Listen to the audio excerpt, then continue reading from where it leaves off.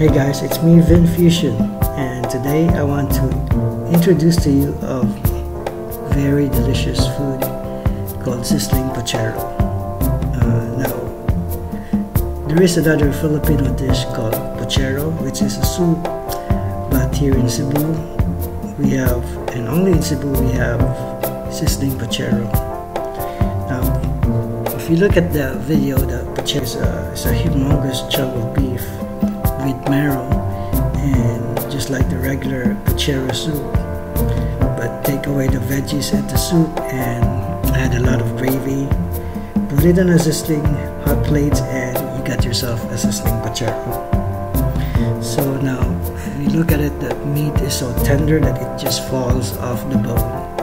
That's how good it is. And it can be served as a meal but also after you bit off with your friends having a few drink and you're hungry.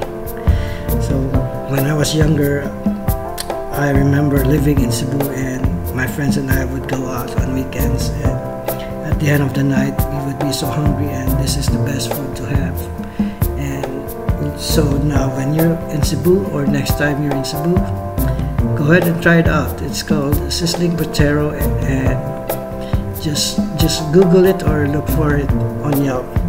And so if you like this video, don't forget to subscribe to my page and visit my website, govinfusion.com.